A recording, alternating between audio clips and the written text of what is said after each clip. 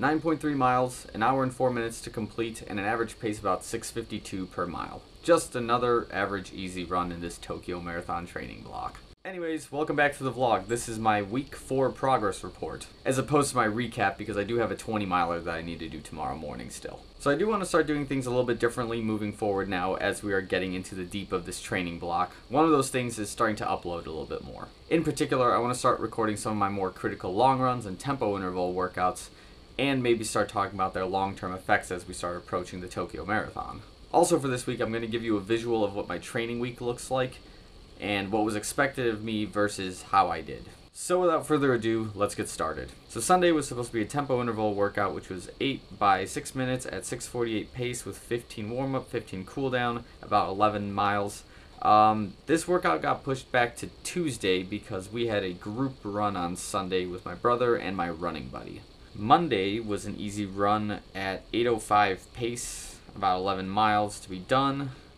Um, I ran with my running buddy on this day, and we ran about 14 and a half miles through the city, and we averaged about that pace, maybe 740, 750. Tuesday was supposed to be an 8.6 mile easy run at 8.5 pace, but that's when I did my tempo intervals. Wednesday was supposed to be another easy run at 8.6 miles. Um, it looks like I ran a 10k and then I biked for about 20 minutes, so I did some cross training post tempo interval workout.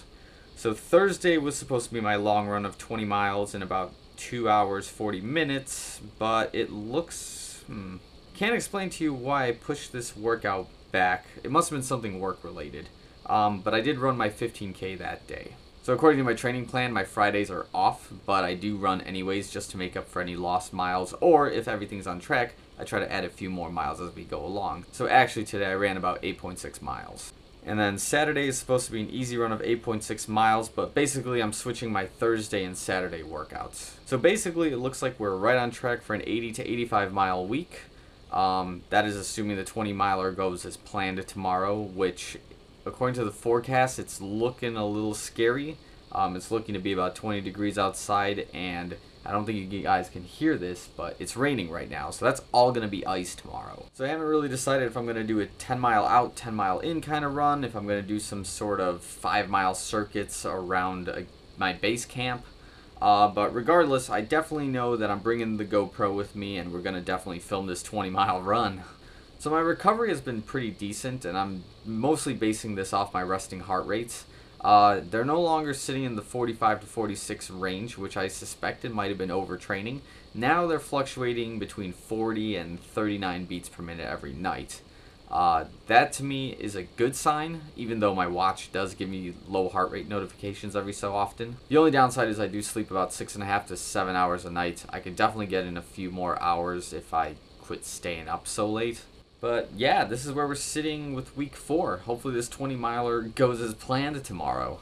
So, I have a bit of news for this week. One of those is that in the past, I've always done a half marathon race in my marathon training blocks, and this year, I've chosen to sign up for the F3 half marathon, which is on January 25th here in Chicago, Illinois, and I'm doing it mostly as a Tokyo Marathon fitness assessment. I do plan on setting an official half marathon PR of about an hour 25 minutes. Currently, I hold an hour 29, which I did at the Chicago Marathon, but I don't think it counts because that wasn't a half marathon. By that standard, I have a half marathon PR currently of an hour 34 and 40 seconds, which I set in 2018. But without a doubt, I will smash that PR in exactly two weeks. And the final most important piece of news is that I'm finally this weekend booking my hotels and flights for Tokyo. There's just a lot of stuff going on during the holidays, my career, and also in running, and I just couldn't sit down and get this stuff done. And now, this weekend, it's happening. So that's all I've got for now. Uh, the next video I'll probably be uploading is this 20 miler recap from tomorrow, if it goes through, which cross your fingers, I really hope it does or if uh, I do a recap of the F3 half marathon, or if I see you there. That'll be pretty cool too. So definitely like and subscribe this video, and yeah, that's all I've got for now, so I'll see you guys soon.